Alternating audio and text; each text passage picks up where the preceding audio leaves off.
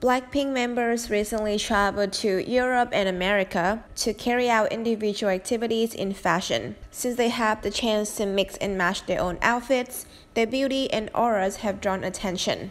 Lisa had just posted on her personal Instagram pictures of her walking in Japan. Blackpink's maknae wears a yellow sweater vest with overalls and a cap. This cute appearance of Lisa makes fans fall in love. Back in March, Lisa had a visit to Paris. She chose a simple but lovely outfit. On March 22nd, Lisa posted photos of her in Paris on Instagram. In the photos, Lisa wears a bright yellow hoodie with a beanie and sneakers. Lisa looks extremely young.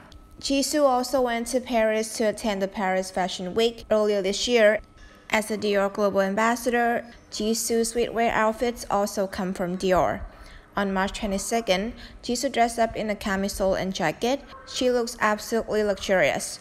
For another outfit in Paris, she wore a DJoy bag. Meanwhile, Jennie's streetwear style is sexy and attractive. The photo Jennie posted on her Instagram quickly drew attention of fans. Jennie wore a Calvin Klein bra with a cream see-through top and jeans. She spiced up the outfit with a designer black bag from Chanel. On the eve of autumn and winter in 2021, Rosé got rid of the soft girl style and put on elegant designs with, with brown tones. She wore a turtleneck vest and a bag from YSL.